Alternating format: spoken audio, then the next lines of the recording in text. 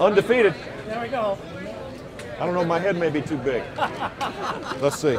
No, sir, it works pretty good. Now I'm gonna get in trouble with ISU, Iowa State, right? That's all right. They beat Texas. They did. They whooped them.